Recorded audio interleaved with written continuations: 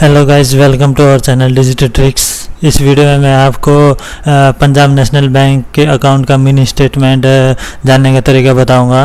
ये मैं, जो भी है सब ऑफिशियल वेबसाइट लिंक से बताऊँगा। सो गाइस ध्यान से देख लेना। तो सबसे पहले आपको मिनी स्टेटमेंट जानने के लिए एसएमएस बैंकिंग को एक्टिवेट करवाना पड़ेगा।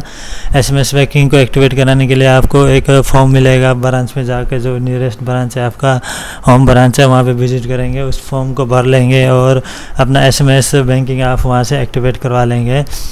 एसएमएस बैंकिंग को एक्टिवेट करवाना ज़रूरी है। अपना मिनी स्टेट में जाने के लिए।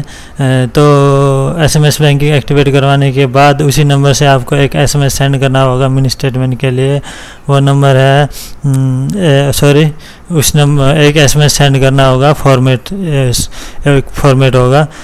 तो उसके लिए क्या है ना कैपिटल में M I N S T M T लिखना होगा। कैपिटल में आपने जो भी मोबाइल नंबर वो यूज़ करना है, जो भी रजिस्टर किया हुआ है आपने एस बैंकिंग के लिए, फिर स्पेस देना है आपको। स्पेस देने के बाद आपने जो भी सिक्सटीन डिजिट अकाउंट नंबर है, जो सेविंग अकाउंट नंबर उस, उसको लिखना होगा। लिखने के बाद इसको क्या करना है आपको five five six zero seven zero four zero पर आपको सेंड कर देना है। तो आपको सेंड करते हैं, आपके लास्ट फोर फाइव ट्रांजेक्शन की डिटेल आपको सेंड हो जाएगी। ये देख सकते हैं आप, ये ऑफिशियल वेबसाइट है।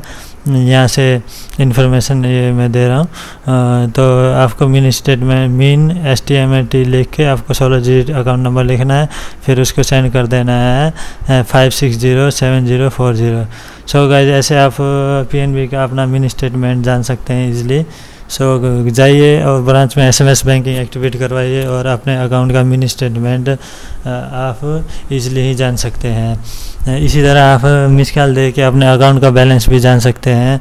उसके लिए आपको